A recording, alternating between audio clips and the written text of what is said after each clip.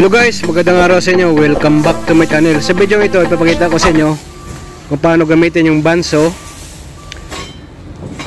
sa pagputol ng metal na Unistrat 50 by 70 mm. Galimitan yung nakikita nyo sa banso ay ginagamit sa pagputol ng cable pero ito metal yung pinuputol niya halimbawa Unistrat or uh, C-channel o mga angle bar pero ito yung Unistrat na pinuputol namin ay 50 by 70 mm ang size niya. May supply siya na tubig para eh, hindi uminit yung blade niya.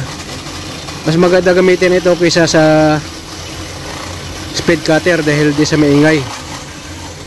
Ganun lang yung pamutol namin dito sa project na pinagtatrabaho namin